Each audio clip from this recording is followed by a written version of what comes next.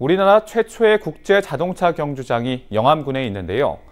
전라남도의회 행정사무감사에서 자동차 경주장의 장기 활용 전략이 부족하다는 지적이 이어졌습니다. 전라남도의회 김기태 의원은 지난 2013년부터 1,200여억 원을 들여 전라남도가 미래형 자동차 튜닝 산업을 육성하고 있지만 입주한 회사들이 공장 건립을 하는 경우가 거의 없는 것으로 나타났다고 밝혔습니다. 또 F1 자동차 경기장을 중심으로 튜닝 산업의 메카가 되기 위해 튜닝 산업 엑스포를 개최해야 한다고 주장했습니다. 강정희 의원은 국제 자동차 경주장 활성화 정책이 임시 방편이 아닌 종합 계획을 수립해야 한다고 강조했습니다.